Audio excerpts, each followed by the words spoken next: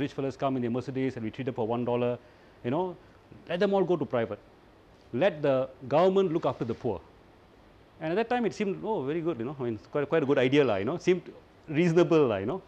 But no, I think we didn't really foresee that when this happened, three quarter of the specialists will go to private, you know. We didn't foresee that enough, you know.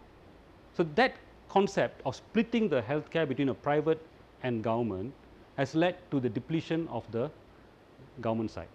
It was that privatization uh, using a market market mechanism to deliver a social good like health. It, this, this is the main cause of it, you know. And now with health tourism and all that expansion of the private sector, it's further, you know, accentuating the problem. When you have Prince Court opening up, let's say Prince Court gets a lot of foreign tourists coming in, they have, they have need for more doctors. They'll just invite people from the government side, people with skill, not the young specialists, the fellows you know who go establish a name, they'll invite them over, isn't it? And private people, you know, the, the people in the category 3 can never go to Prince Court, isn't it? See, this happened quite long ago, huh? when you all were probably still in school, kindergarten. okay, this one GMS. the GMS, General Medical Store, was formerly a section of the health ministry and they were in charge of buying medicine for the whole government sector, for government hospitals, government clinics, everything they used to buy, you know. So, they can bulk buy and they had laboratories, you know, to test the medicine, whether the medicine is pure, genuine, you know, they had a good system. It's doing quite well. So, 1993 or 1992 around that time, uh, Mahathir privatized it, you know, to one of the renowned companies. And immediately the price of the next year itself, the, the medical bill uh, went up from 200 million to 800 million. And now it's come now known as Pharmaniaga. See Pharmaniaga's uh, the share price uh, went up six times between 99 and 2004 because they privatized it okay?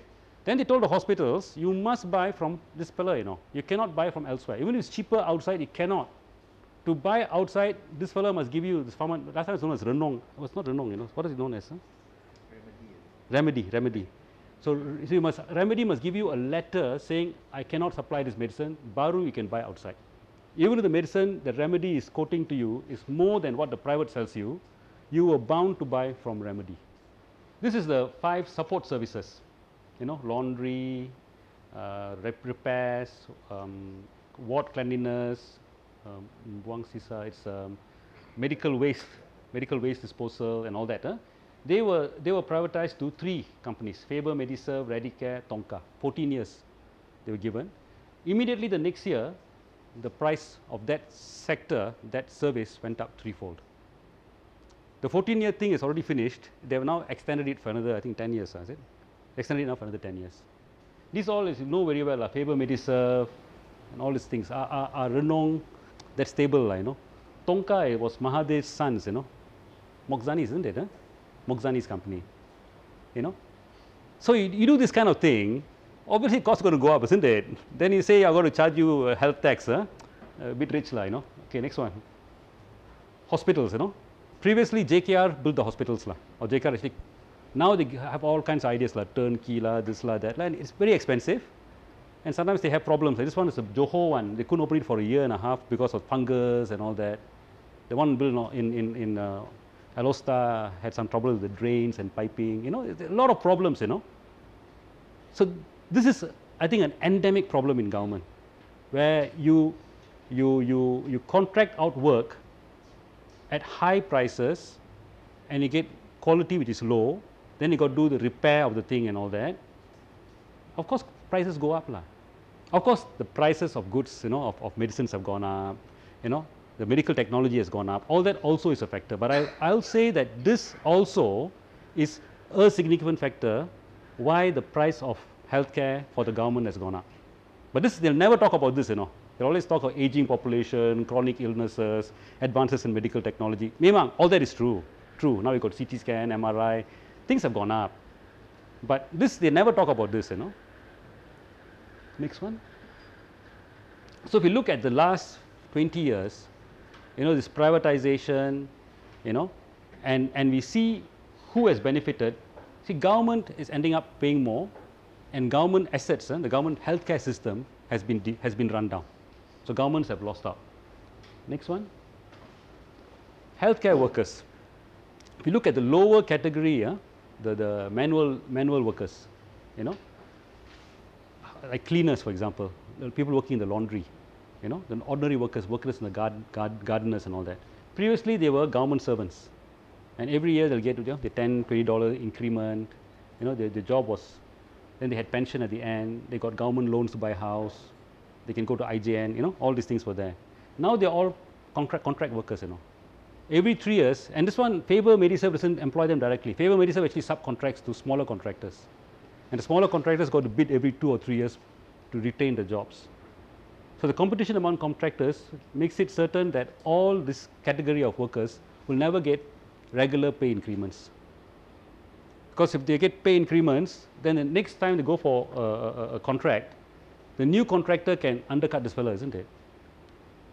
So, that's, that's the reality now. The last 20 years, this category of workers have remained at the same thing and they got to compete with Bangladeshi workers, Nepali workers, you know, who also brought in to do the similar kind of work.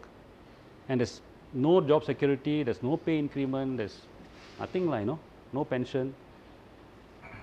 And then next one, the people ended up with a two tier, three tier system. Uh, quality of care has gone down, there's a lot of pressure. People are forced to go to government hospitals, though they don't really trust them so much. They force, then they run to private, they lose money there. Uh, the only fellows who gain is the crony companies. La. The last 20 years, really, I mean, look at it objectively. I know, I know I'm an opposition politician, but think of it objectively. Who has actually gained? You know, all Mahathir's friends, you know, who have actually gained. You know, some of the details one care that people are worried about. Huh? Okay. Now, you see one problem with the see one care the whole system is based on a market model you know it's a neoliberal concept that thinks that people are best guided by economic incentives and disincentives that's basically a Thatcher Reagan kind of a worldview lah okay so now they say okay now we're giving this doctor okay let's say David lah David is a GP giving 300 3000 patients look after lah so very easy for David huh? anything uh, this refer lah anything headache or whatever, okay lah, go go and see the neurologist, go and see the cardiologist, you know, send them up. Don't handle at this level. Easy what? Come, write a letter, refer up. So this is won't do, see, because the idea of having him as a gatekeeper is for him to treat at his level much as he can. So how do you do that now? So they got a concept. They're going to find. You got 3,000 patients. You can refer a certain ratio, a certain percentage of the patients should be referred. If anything more than that means you're being lazy. So I'll fine you. Okay, now that's a problem. If you happen to be the patient who are reaching his quota for the month and you happen to go with, and, and he wants to refer you, but you think, my God, if I refer him now, better keep it next week. Next month I can refer him next month's quota, but this month, you know, it will create a certain problem. If you have something that re requires urgent referral, but because of this quota and the fining, next one please, you know, you're going to get penalty. So he's going to be paid capitation. Every month he'll get a certain sum of money based on the number of patients he's covering. But if he refers too many, his that, that pay may be cut. So to make sure he does his job properly, lah. That's, a, that's the way they were thinking. That's the whole problem, you see. When you start thinking in that terms, huh? so now we're going to have hospitals. You're going to say let the money follow the patient. So which hospitals attracts patients, gives patients satisfaction, we give the money to them. Okay, but then you have a problem. You can't just go by admission, because there are different kinds of admission, right? You're admitted for normal childbirth. You're admitted for a cesarean. Different what? You go with chest pain, but it's a muscular pain, or go with chest pain, it's a heart attack, different one. So they got this concept of DRGs. Next one.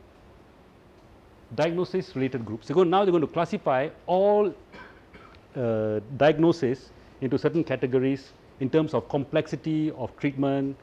If we get a, if we go for a cesarean section, there'll be a different DRG and a different. So the hospitals all earn money based on your spectrum of cases that you get, not just the number of cases. The number of cases times each case got a weightage. La. Now, if I was a hospital director and I want to get more money from my hospital and buy more equipment and give David his bonus and all that, how do I do that? I got to earn more money. So, one way of earning more money is get more patients. Other way is to upgrade the diagnosis. There will be a tendency to upgrade the diagnosis, right? You know, so again the same problem of over treatment, over investigation may also come up. You know, the hospital knows, let's say if a person comes with chest pain, if I diagnose as a ischemic heart disease and do a number of tests on the patient, I'll get more than I just say chest pain and you know. If I do a cesarean for a labor case, I get three or four times more than I do a normal delivery. If I operate and remove the appendix, instead of saying oh, it was only colic and go home. So again, the same problem comes up. So then this NHFA has got to have a team to check this buggers, make sure this fellow's not taking us for a ride, you know. Can you imagine? They got to have doctors, they got to have accountants to try and curtail that. So once you put money into it, see like now government hospitals, this doesn't come in at all. Government hospitals get a global budget, you know, EPO-GH maybe so many million a year. It's fixed based on your previous year's expenditure, just fix it that way. But when, you, when your income depends on your diagnosis and what you do, there will be pressure on the hospital to diagnose up you know, and not diagnose down line, you know what I mean? And then there will be a problem. Okay, next one. You know, so in so appendix and not colic, cesarean sections, you know. So the, there's a risk of over investigation, the cost and the bureaucracy. La. So these are, these are issues, I mean, you're going to have new quirks, you know, if you, if you follow the system, these kind of issues are going to become very quirky, la, you know. You're given a certain sum of money for appendix, that's a DRG. Whether you keep the patient for 4 days and discharge the patient or keep the patient for 7 days and discharge the patient, the sum of money is the same.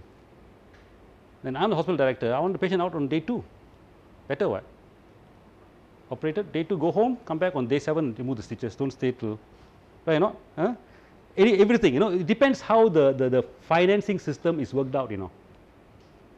If financing system is worked out like that, you know, there's got a diagnosis, you, you pay that lump sum for the diagnosis, and you don't take into account how long the patient stays after the diagnosis is no you know that if you keep longer you actually spend money on the patient but don't earn.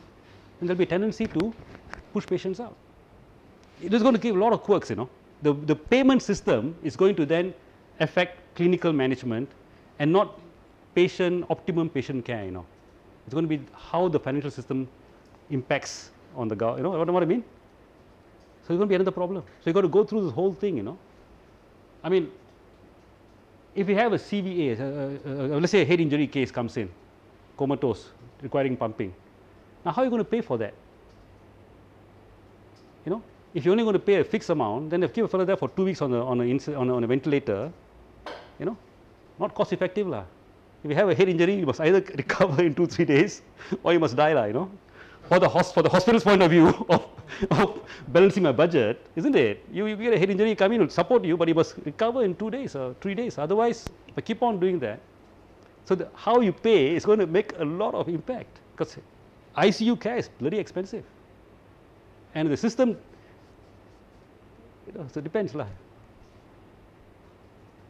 and the system then says, okay, keep any number of days, you pay for the number of days, then there's a tendency to keep them for too long. You can wean him off earlier, you don't wean him off early enough because we play, you know what I mean? Once you put money into clinical decisions, then it will have all kinds of bugs will come out, you know, bugs will come in the system. Okay. All right, next one. So, so the reforms, the suggested reform based on market, market mechanism based on money incentives is already a problem. But I think it's a bigger problem. The bigger problem is who is going to do the reform? They are estimating between 40 to 70 billion. It's going to go up, you know. Once they do this thing, it's going to go up. So, so now the government health budget is in the hand of the government. La. This 16 billion is not in the hands of the government. They want to make it into one, they're going to take charge of that. Do you trust them? Binoculars, real price and buying price. Remember not, this one the Mara fellas bought this night vision binoculars 2005, right? And they bought it for what, 56,000 or something? Remember or not? Not I saying this, Auditor General said it, right? Huh? Okay, when you can buy something at 20 times the price, and after that, the fellows who did it were not taken to, to, to court. They said it's a mistake, you know, oh, they made a mistake, they got confused something, you know, isn't it? It was covered up. Next one. This I'm sure you know or not. This is an armored personal carrier we are buying 257 of these at the cost of 30 million a piece. And the most expensive one in America, the most chunky one you can get in America is 10 million a piece. And we are getting ours from Turkey, you know, 257 of them.